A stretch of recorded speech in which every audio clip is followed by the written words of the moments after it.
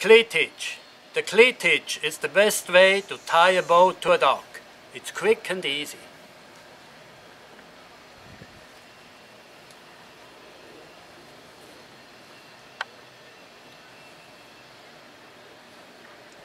Like that. And these two lines must be together. Then it's the right cleat hitch.